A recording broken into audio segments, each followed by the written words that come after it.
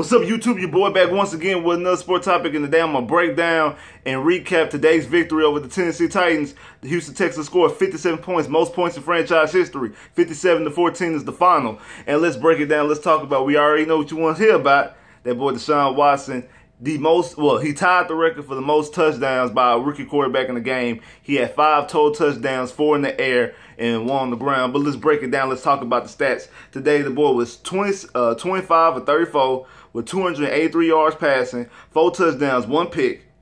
Lamar miller rushed the ball 19 times 75 yards in the touchdown. Hopkins 10 catches 107 yards in the touchdown. Will fuller first game back two touchdowns, four, four, catches, 35, uh, 35 yards, two touchdowns. Even Lamar Miller did work on the ground with, uh, I mean, in the air with four catches for 56 yards and a touchdown. Like Deshaun Watson just makes the whole offense look better. It's just let's just talk about it, just, just straight up. As soon he's on the field, like he makes the whole offense look better. You feel like you can score on every drive, and actually we did. We scored on our first five drives. We scored four touchdowns in the field goal. The only time we didn't score was the last drive of the half. The last drive of the half when he threw a pick when we could have got a field goal in that situation, he threw a pick. Um, he actually still threw a pick the play before because he threw in the double coverage to Griffin. And then I didn't like neither one of those uh, decisions. I didn't really like neither one of those play calls because I think that they should, if you're going to try to get a score, which you should, try to get a touchdown, try to end the game then because at that time it was 30 to 20, uh, uh, it was 30 to 14. What you should do is show a straight fade inside the end zone where either your receiver's catching the back of the end zone or it's going into the stands. That way you can still keep that field goal in your pocket. Like um, with, with, no time left in, in, in the uh, first first half. That's what you should do. I didn't like how they were trying to score underneath I, I, didn't like that. I didn't like that play selection. But um, but for the most part, I want to I want to stop people from uh um saying this about the play call. You cannot say nothing about the play calling anymore because it's it must be clear that evidently the reason why Bill O'Brien was calling the plays that he's been calling for the past four years was because he had Fitzpatrick, Mallett, Hoyer, Savage, 17 as his quarterback because the past two games with, with Watson, take that Bengals game out of it because it was short notice, short a short man. It was a, a three ga- three days before the game. Like it was it was a lot of stuff going on in the game. But the past two games, the New England game and this Tennessee Titans game, you've seen this offense be completely different. Different dynamics in this whole entire offense. And let's talk about the return of Will Fuller. I said in my in my preview video, if I was them, I would go deeper with for the first play of the game.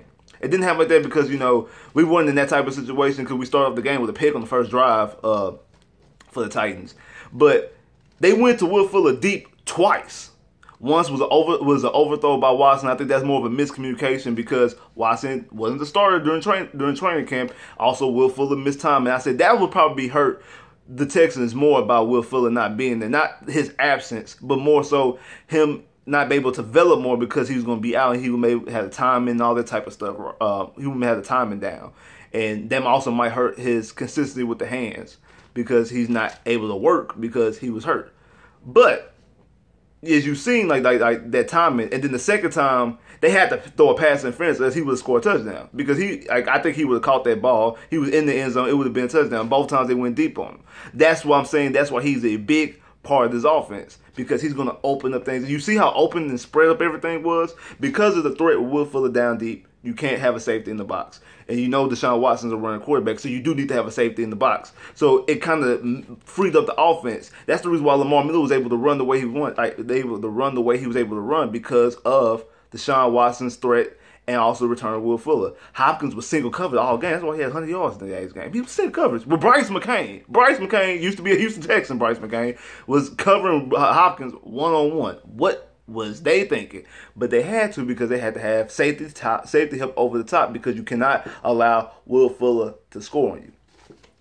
You you would rather Hopkins you rather Hopkins get you all day on five yard outs and uh catching sideline catches then let Will Fuller burn you for 80 yards for a touchdown. That because that's that's it's a place of yardage and it gets into the end zone, or at the very least gets you to the goal line. You could try to find a way to stop Hopkins. you could try to find a way to stop Hopkins.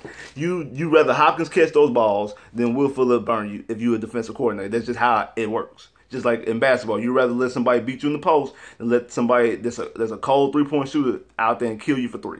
It's just how it's just really how it go. But anyway, Deshaun Watson, like I say, his him him being his presence on the field just just completely opens up the offense. Like we just look like a completely different team out there. Like he completely just opened up the whole entire offense, and I just think that that was just um that's just what you do. Like when you have a quarterback, like we finally have a quarterback.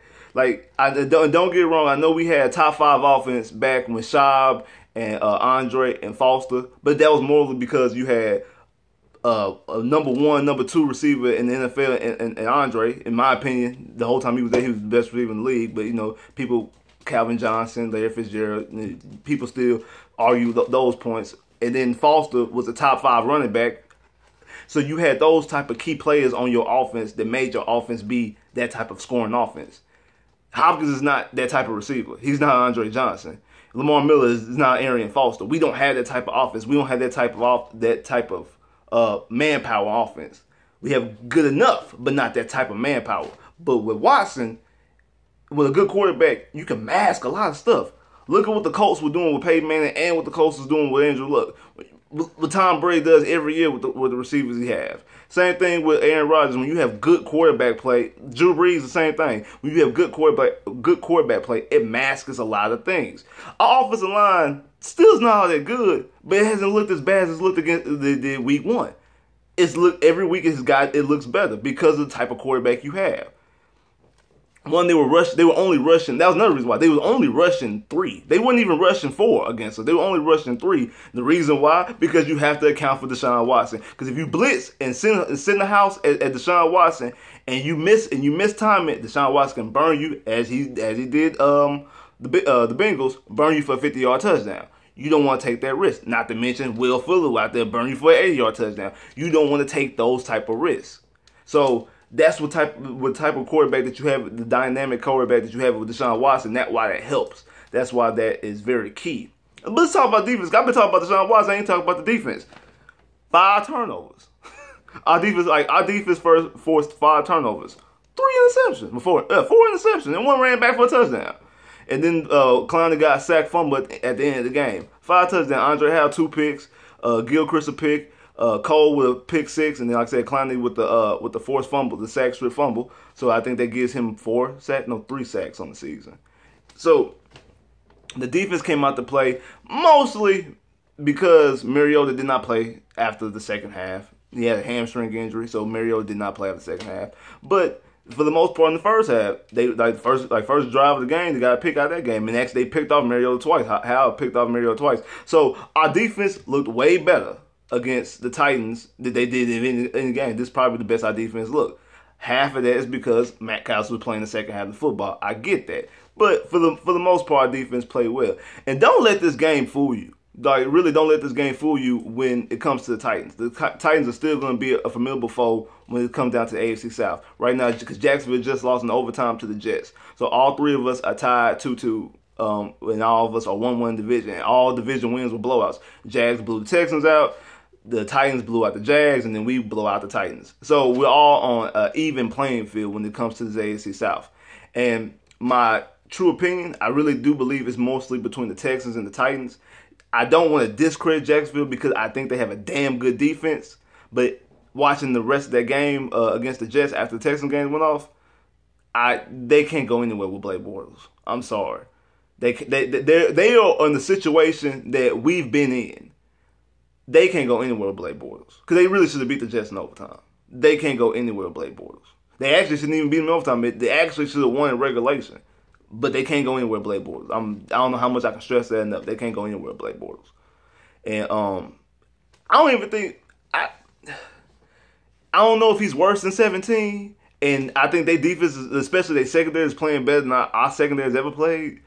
But I just don't see them going anywhere. And, and, they have enough to keep them in games. They they have receivers. They have a defense. They have what looks like a nice running back and net. But I really just can't see them going anywhere with Blake Bortles under the uh, under their center. Like I'm just I just can't see that I just can't see them doing anything. The Texans, because of our defense, I think our defense is going to come back alive. I think with Watson showing what he's showing, I think he's the real deal. He's legit, and I think Mariota is a, I think Mariota is a, is a damn good quarterback himself, and they have a running game which we had, which we were able to shut down mostly because we started off and we scored on our first five possessions of the game, so it put them in hole and took the running game out of the game. It wasn't a close game, so they couldn't run the ball like they wanted to. But I still think it's between the Texans and the Titans mostly. I don't want to completely discredit and count out Jags because of their defense, but because of their quarterback situation, I really don't think they're gonna have too much to say. Same thing with the Colts. Colts is a bad team all around, and they don't even have luck. And I think with luck, I don't think they'll be able to do much anyway. So I think it's still the Texans and the Titans for this division. But like I said though, and, and, and like I said in the last video, Deshaun Watson we trust. Like I think, like as you see him go out there and score, and then and then got the uh did the Andre leap in the end zone. Like he's completely changed the the outlook of the team, the outlook of the city. Like you could, like I said, you could tell this is team. Like everybody is focusing on him. Everybody's looking up to him. And he's only his what third start. Yeah, it was his third start, first start at home. And everybody, you can tell he's already got the keys to the franchise. The keys to the car is his team. You can already tell that it's his team, and uh, like I think he most likely will probably be rookie of the year now. I think he's going to be he's going he's heading into that trajectory. He's going to be rookie of the year mostly because he's a quarterback. I know what uh, Kareem Hunt's doing out there in Kansas City, but you know they look more towards QBs anyway. So, and um, hopefully he can get, be rookie of the year, and then because I think he'll be our first offensive rookie of the year in franchise history. We've had two defenses with uh with Cushing and uh um uh DeMeco Ryans, but I think he'll be our first offensive rookie of the year and then also uh, get us into another AFC South title. And let's see what we do. Uh, I said we we finally got us one, people. Like ladies and gentlemen, we finally got us one in Houston. Like, share, subscribe, comment below if you haven't clicked that bell to get more videos. I holla.